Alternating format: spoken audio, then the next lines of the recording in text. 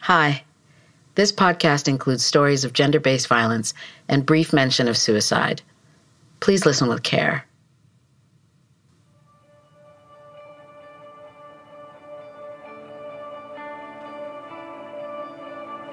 Have you ever thought, I don't think my friend is okay, but you didn't know what to do or how to help?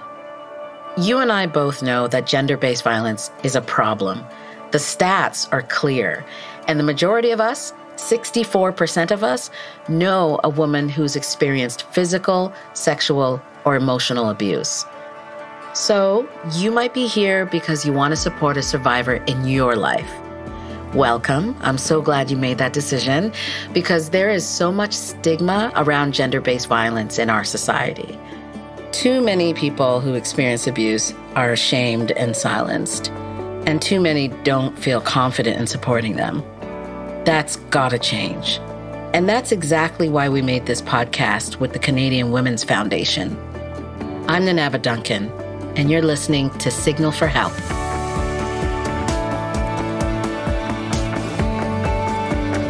In every episode of Signal for Help, we are featuring the voice of someone brave and brilliant.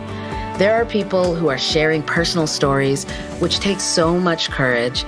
And we also speak with people who can share professional experiences, who are working the front lines to help survivors of abuse. So, what is gender based violence? Well, it includes the types of abuse that women, girls, and two spirit, trans, and non binary people are at the highest risk of experiencing. And that means physical, sexual, emotional, verbal, spiritual, or financial abuse. And some examples include name calling and hitting. It can look like pushing, stalking, rape, sexual assault, control, and manipulation. A lot of what I just listed is against the law.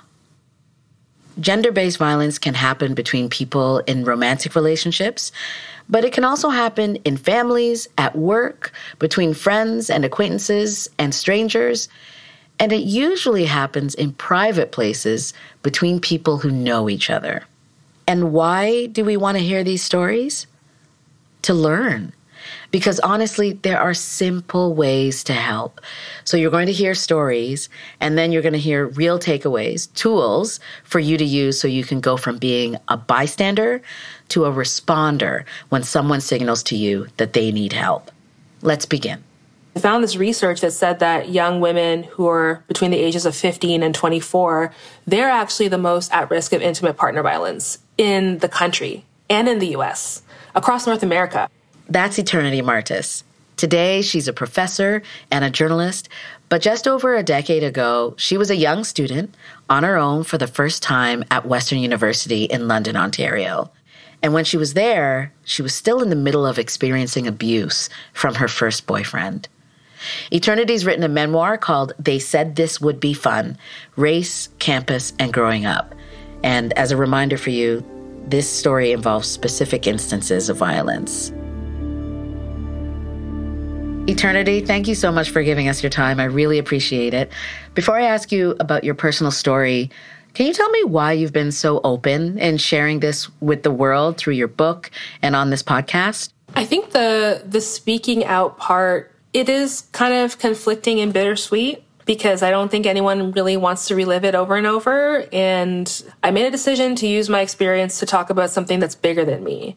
We don't think about young people in violent situations and we don't think of young men as perpetrators of intimate partner violence.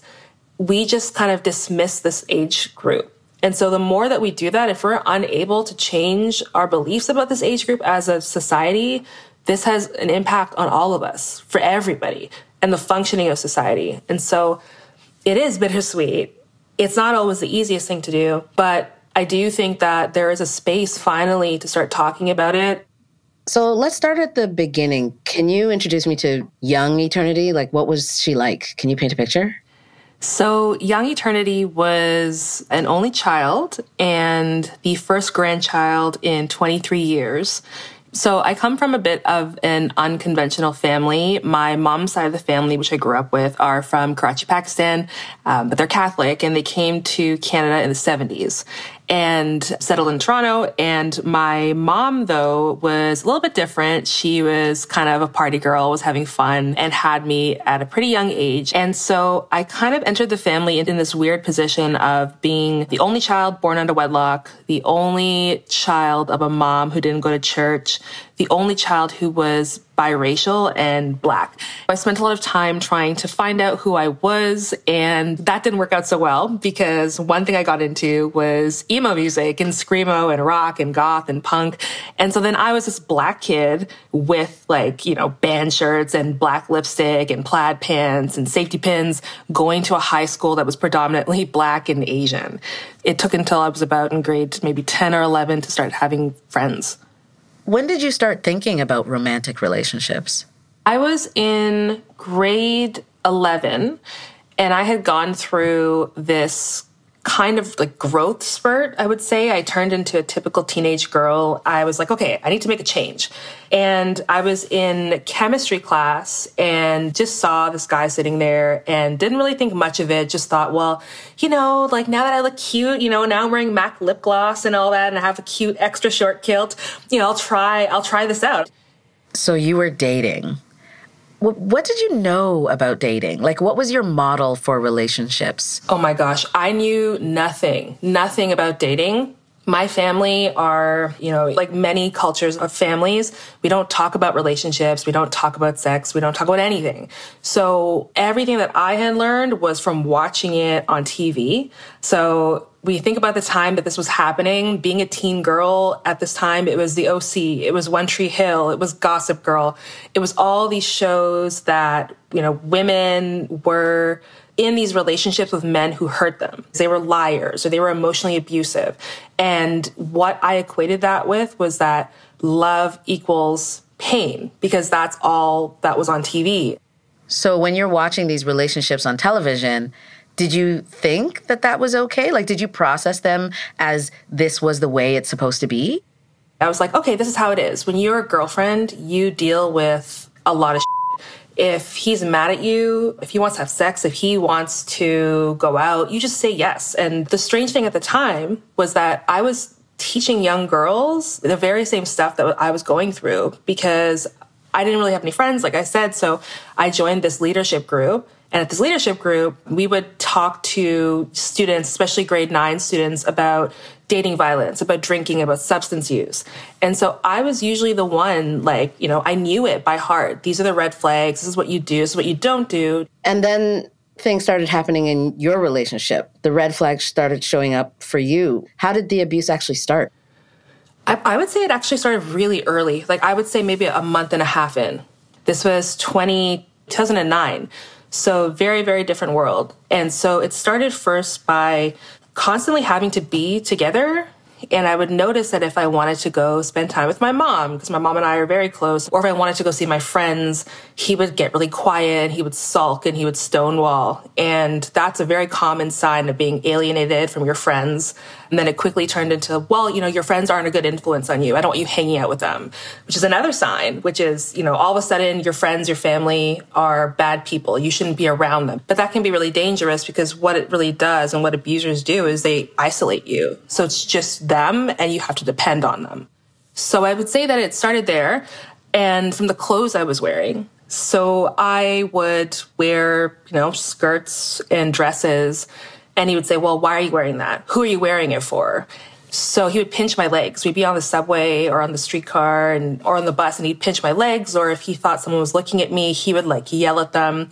So it was that kind of stuff that I thought to myself like, well, I can just tell him, you know, like off. Mm-hmm. Like I can wear what I want. But I don't think I realized that it actually went a lot deeper than that. And and did you ever tell him to off? Oh, many times many times. And I think that was the mistake or the thing that I didn't realize is that you can say that, but you don't realize that you're already in it. And before it got physical, did you recognize any of it as abusive? I don't think I called it that. One thing that he would do, which actually now we know is illegal, it's referred to as stealthing, and he would remove condoms when I didn't know, or being pressured, like constantly pressured for sex until you're worn down. And that's what comes to the territory of having the privilege of having a boyfriend. Mm. if you remember Nanaba, the only case that was really public that my generation had dealt with of partner violence was Chris Brown and Rihanna. Mm-hmm. And I remember being at school and those conversations happening. And the only thing I ever heard was, well, she must have done something to deserve it. She must have made him angry. She must have been cheating. It was a complete kind of victim blaming of Rihanna. And everyone at my school adored Chris Brown. Well, the information you did get with the two musicians, Chris Brown and Rihanna, was an extreme one where you had Chris Brown physically beating Rihanna. And I'm wondering if at that point you were thinking that what he was doing at the time wasn't so bad in comparison. Yeah, I think it was that. I think it was like, well, you know, see, it could be worse. See, this is actually what abuse looks like. And in the years that I've been reporting on this, it tends to be that young women that's when they can identify it. Well, it was only abuse if if he's hit me.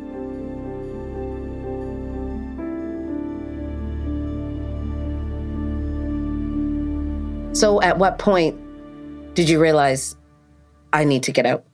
I was in grade 12 and the emotional abuse was really hard to deal with. Like I felt like I was drowning and again, I didn't know that it was abuse, but I didn't feel good about it. And something in my gut was just like, this is wrong. It's not supposed to be like this. So I started trying to break up with him and he would beg me not to break up with him and I felt really bad. And then I had this great thought, well, what if I go to university and I get to learn a little bit more and I get to get away from him? That would be great because his behavior was getting pretty volatile at that point. He would have these kind of violent outbursts of, How dare you try to leave me? And he started saying things that really concerned me about his strength. And one of them was that he would kind of like look at his fists because by then he had started punching walls. He had a really bad anger problem. And one day he turned around and he said to me, I am Look at my fists. I could kill you. And I thought, well, geez, I need to like really go because if I'm far enough away, he can't hurt me. I'm going to break up with him from there. And that will be that. Eternity, I just want to pause here for a moment and say, I'm sorry this happened to you. Oh, thank you. You know, I was thinking that you were so close to your mom and have been so close to your mom. Mm-hmm. Um, what was her role in all of this? Um, I don't I don't know if she knew. I don't know if she knew. And what about your friends? How are they viewing your relationship? This didn't happen until my first year, but I was starting to see kind of like the dynamics of this interracial relationship start to play out in how people saw us because he was Southeast Asian and so my friends would say things like, Oh, but like, are you really scared? Like, you're girl, you're black. Like, you can deal with it. And I learned that there was this kind of assumption that I'm supposed to be an aggressor. He can't do anything to me because he is an Asian man. And there are so many stereotypes at play here about black women being aggressors, Asian men being effeminate. Like, there's so much to play with here that I wasn't really aware of because I'm 18 years old. So everything got dismissed very quickly. So now you're at a stage where you've got the acceptance at university, it's two hours away, and you're physically far apart. How did your relationship progress? It got a lot worse. A lot worse. I didn't think it could. So, what happened was once I left and me being away, it was like it did something to him. He was so angry and so full of rage. So I would get these messages all hours of the night on Facebook, like blocks of text, uh, like his thought process, like, how dare you leave? Or I'm nothing without you. Or I'm so mad I could kill you. Just like the most frightening stuff you can think of. You just wake up in the morning and it's like 50 messages of this going on. He would try to hack into my accounts and I think he wanted to see what I was doing. He was so worried that I was doing, you know, I was cheating, or I think he was worried that I would make friends and move on without him, which I was trying to do. Most nights he would call me at nighttime and I thought we had a good day. And he'd be like, okay, what are you doing? And I'd be like, I'm doing my homework. I'm going to go to bed. Show me your room. Put me on video call. Let me make sure no one's in your room. And he would pick these fights until four or five in the morning to the point where I was so exhausted from fighting that I hadn't slept and I would miss my classes. So I stopped going to classes. Like, I think I showed up weeks later and my prof didn't even know who I was. So he would do that. And um, it was really exhausting. It's preventing you from going to school in some instances. How else did this affect your experience? Because this is your first year. This is a time when you're supposed to be meeting new friends and having new experiences. I didn't do really well in school and I wanted to. So my grades were not great. I didn't really form the relationships with my professors that I wanted to because I wouldn't go to their classes and then I'd be ashamed and didn't want to talk to them. So by then I was just ex- like, I just felt so trapped to the point where I'm like, the only solution is for me to go. Like the only solution is for me to die because how can I get out of it?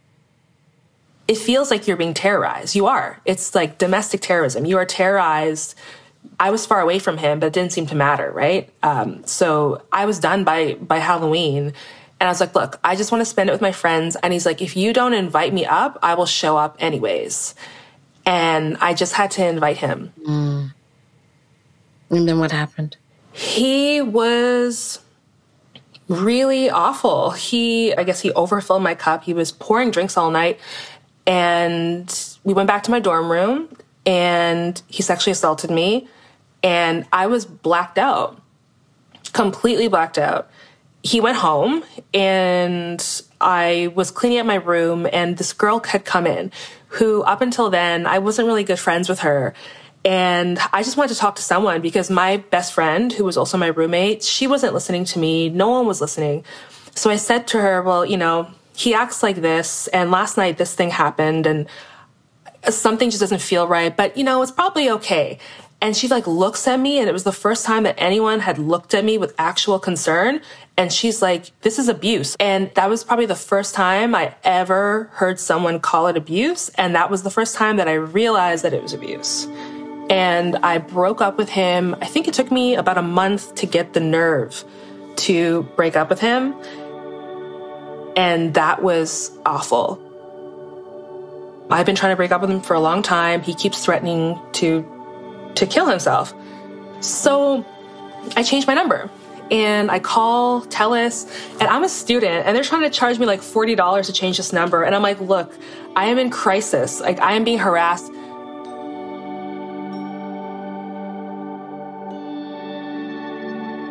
So you were not feeling safe. And I know that something happened on one of the last nights that he came to the university uninvited. What happened? I told my roommate, look, please just lock the door tonight. She was very forgetful and we had been friends for a while. We like she knew him from high school. We all went to high school together. And I told her, lock the door because I'm worried. And this is a friend who I considered a best friend who never took any of it seriously. And she left the door unlocked and it was like three in the morning or something. And I'm like woken up because there's this light coming out of our room. And I look up and he's standing over me and he has a hammer in his hand. And there's a hammer an inch from my face. And he says, Guess who? Wow, eternity. That's really scary. I'm sorry you had to go through that. You mentioned this person who you didn't know telling you that this was abuse and a friend who was close to you who wasn't supporting you. What was the impact of not feeling supported? I don't think I felt the impact right away. But I think when I did, it was like it hit me so hard. It was like this realization like, wow, these people that you call your friends don't care about you and they're not even trying. If your friends were supportive at that time, what kinds of things would they have been doing? I think if, if my friends were supportive, I think first of all, they would have at least listened and heard me and taken the time to understand and helped me get through it. So maybe they didn't know what to do, but they could have said, you know what, I'm going to sit with you and I'm going to be there with you. It could have been as easy as that. For my roommate, um, after this happened and after it had gotten physical, I was really afraid of like staying in our dorm room and I would just kind of beg her, and I never asked for help. I would beg her to stay in the room with me and sleep there because I was scared he'd come back. And she never did because she wanted to go party and she would leave me there.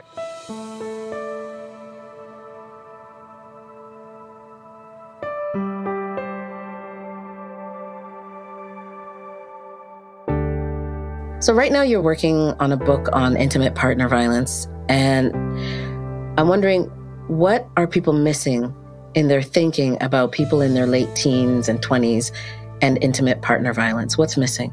There's a lot missing. I would say all of it is missing, really, because when I graduated from Western and I went to do my master's at now TMU, formerly Ryerson University, I was really struggling. I was having a hard time. I had PTSD. I just was like, when will I feel like me? When will I be okay? And in feeling like that, I thought, well, you know, for my thesis, I'm going to talk to other people who feel this way. And when I did that, I realized I found this research that said that young women who are between the ages of 15 and 24, they're actually the most at risk of intimate partner violence in the country and in the US, across North America. And that really shocked me. And so there are a couple of things that we're missing. The first is that we don't think about this age being victims of violence because this is an age that they go off to university, they're coming into their sexuality, they're having all this fun. But in doing the research, there are many, many, like dozens, dozens of cases of young women who are students being killed by their boyfriends who are also students. And when we look at what is categorized as police reported cases of intimate partner violence, the category of partner is very rigid. It doesn't take into account that this generation are more gender fluid it doesn't take into account that we have different kinds of relationships. So you can be in an abusive relationship with someone who is, you know, your friends with benefits. And what we have in place doesn't acknowledge that. It doesn't acknowledge the fact that a lot of violence, intimate partner violence, happens in queer and trans and non binary relationships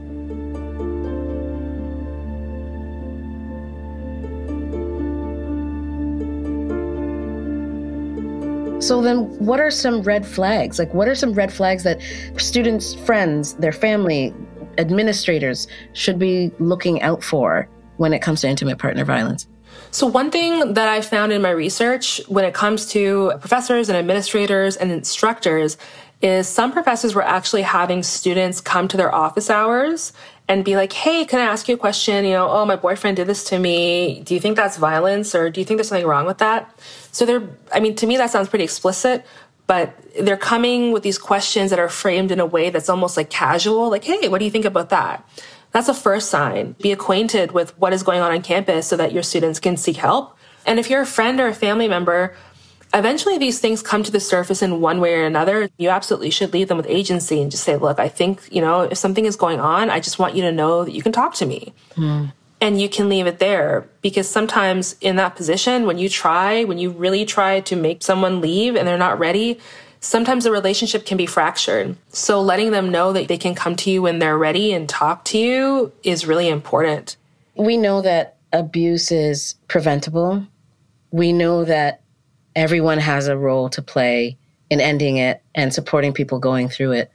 What do bystanders need to know? What are the tools that they should use to help a student see that they're in an abusive relationship?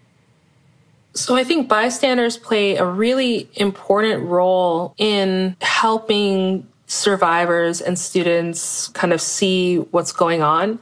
That doesn't mean throwing it in their face in a way that is not compassionate and empathetic.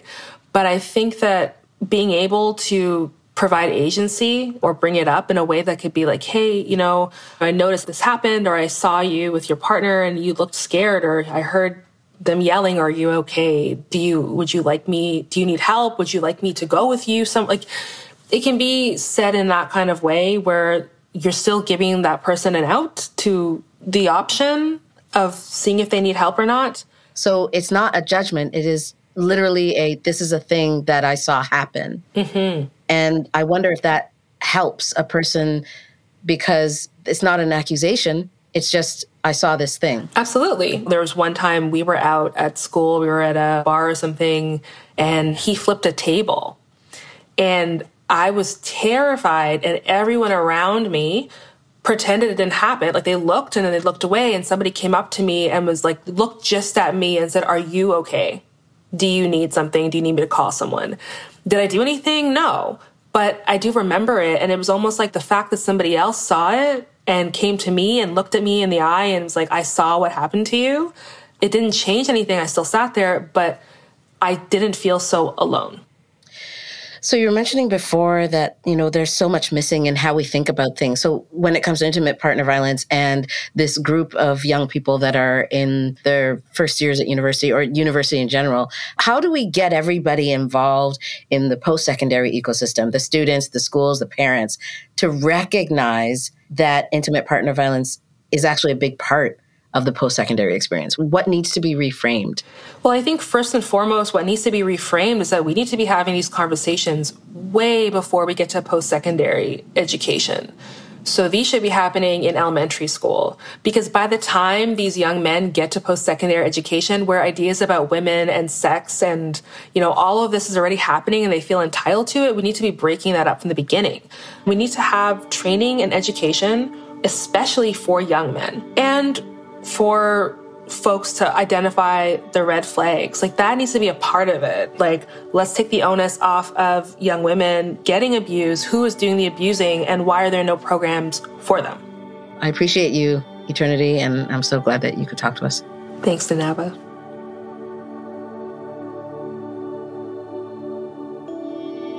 As a professor myself, interacting with university students every day, I found this conversation to be especially powerful. Eternity had a roommate and classmates and professors and teaching assistants, but she still felt isolated. One takeaway from this episode is to just listen. Eternity said her best friend, who was also her roommate, wasn't listening when she asked for her to be around at night. And I'm not pointing this out to blame anyone, but it is worth thinking about how we can just listen better with no judgment, no advice. And that can be harder than it sounds. Listening means showing that you're interested with your body language, with your own quietness, and with comments like, you can talk to me anytime. I'm really grateful to Eternity for today's conversation. And if you're eager to learn more, there's so much you can find on the Canadian Women's Foundation website. There's a whole story around the Signal for Help itself, plus ways that you can sign up to be a Signal for Help responder and join the learning journey. Or you can take the mini course online to feel confident and prepared to support someone in your own life. I took the course myself and I found it so specific and so helpful. After all, when you know how to respond to the signs of abuse, you can change the story. Take action at signalforhelpresponder.ca. Signal for Help is a podcast from the Canadian Women's Foundation made by Media Girlfriends. Producers of this show are Garvia Bailey and Hannah Sung. Post production is from David Moreau. I'm Nanaba Duncan. Again, if you're feeling like you need support, go to signalforhelpresponder.ca and click on Get Help for links to services and information. Take care of yourself. And thank you for listening.